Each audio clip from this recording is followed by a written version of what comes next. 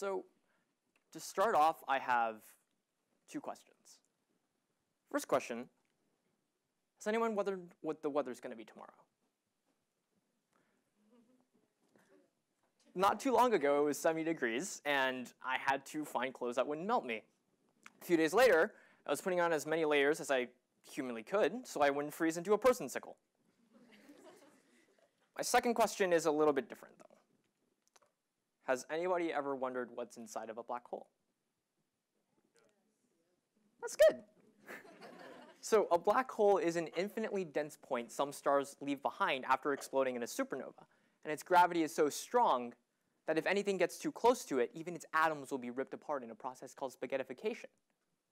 So I start off with these two things to show just how hard it is to answer some of the most fundamental questions about our universe. It's hard to predict the weather. It's hard to know when it will rain and when it won't. And at the same time, it's hard to crack open a black hole and see what's inside. It's even harder to think about how they bend space and time, warping everything we understand as normal. They're so alien that I still can't wrap my head around them. But just because things are weird, just because questions about them may be hard, doesn't mean that I don't ask. And actually, we all ask these questions, really difficult questions about the nature of our world. Why is the sky blue? Why were dinosaurs so big? Are we alone in the universe? As a species, we're driven by our curiosity. We want to learn more, to know, to know more. But what happens when our questions get too big, or too complex, or too weird? What happens we want to explore, but our destination is too far away, but too dangerous? To tell my story about a computer simulation, I first need to explain dark matter. So dark matter is shy. It likes to keep to the shadows, and I mean that literally. It doesn't emit, absorb, or reflect light in any way, which means no matter how fancy we make our telescopes, we will never see it. But we know it's there because of its gravity, how it subtly pulls on and shapes galaxies. We, also know that it seems to be everywhere, making up 84% of all the matter in the universe. That means the stuff you're used to. The chairs you're sitting in, this stage, this normal matter makes up less than 20% of all the stuff in existence. It's kind of embarrassing for astronomers to not know what the universe is made of. So for the past few decades, they've been trying to figure it out. They've had physicists help them by smashing particles at almost the speed of light. They've filled caverns with mineral oil and photodetectors. They've launched special probes into space to try and understand what dark matter is. But we still don't know. Now, a few years ago, a new theory began to turn some heads, and astronomers had gotten together and asked a very important question. They asked, what do we know for sure about dark matter? Turns out the answer was, we know that it's dark and it interacts with gravity. Then they asked another question. They asked, what do we know for sure about black holes? Turns out the answer was, they're dark and they interact with gravity. And that is how the primordial black hole as dark matter hypothesis was born. And this hypothesis that no, dark matter is not some sort of mysterious particle we've never encountered before.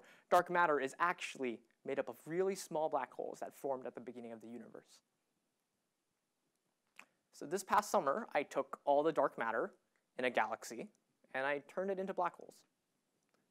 Full disclosure, this galaxy was not real, but it did exist. This galaxy lived in a computer simulation, and I turned all of its virtual dark matter into virtual black holes. But what I did was strange. It was weird because in thousands of years that we have been looking at the stars, astronomers have never been able to experiment. They made observations and predictions, very accurate predictions, of when and where the sun would rise, when and where eclipses would be visible, when and where the planets would appear. But they could never experiment. Unlike chemists who could combine elements on compounds to study their properties, unlike physicists who could set up systems of weights and pulleys to study forces. Astronomers could never induce a supernova to study the death of stars. Astronomers could never smash two galaxies together to study how they merge. But now, with computers, with the power to create virtual worlds filled with virtual gas and virtual stars, we can induce that supernova. We can merge those black holes, merge those galaxies. And so, as I let my black holes get bigger in my little galaxy, I kept track of how much they were eating. Why did I care? Why did I care about how much my black holes were accreting? Because contrary to popular belief, black holes can and do shine. As gas spirals inwards towards them, it starts to go faster and faster, and, as it's, and it starts to glow. And this glowing gas causes the black hole to shine, sometimes even outshining the brightest stars. So I let my black holes get bigger. I let them grow. I figured out how much mass they were eating, turned some of that mass into energy, and I knew exactly how much they would shine. As I did this, I took a moment to reflect. I had modeled a galaxy that didn't exist.